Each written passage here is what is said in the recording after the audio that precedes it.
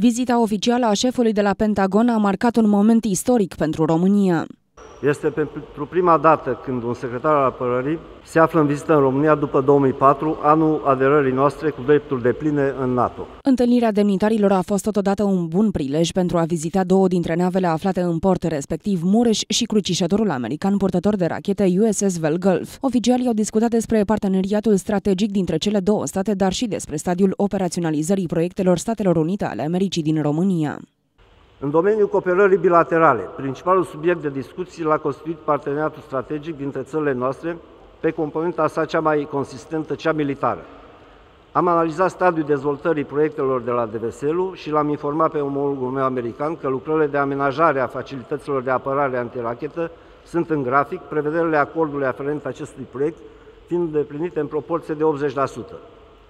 În ceea ce privește nodul multimodal și centrul de tranzit de la Mihai Cogălnicianu, apreciem că acesta constituie un bun prilej și oportunitate pentru ca activitățile noastre de pregătire în comun să fie eficiente.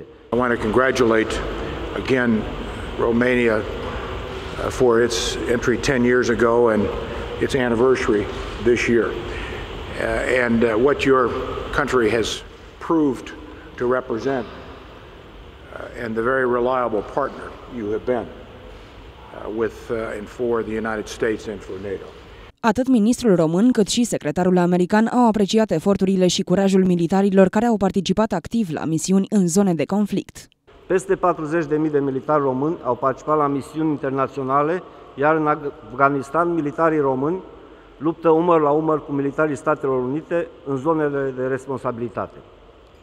Am exprimat cu fermitate disponibilitatea noastră de a rămâne angajați în Afganistan, alături de aliați și după 2014, în cadrul misiunii Resolute Support, și am discutat aceste aspecte cu domnul secretar al apărării pe timpul întâlnirii noastre. Apreciem sprijinul vital al Statelor Unite pentru sporirea măsurilor de securitate în spațiul nostru aerian, context în care zborurile de recunoaștere a aeronavelor AWACS și exercițiile comune desfășurate de forțele noastre aeriene au fost și rămân de o importanță esențială.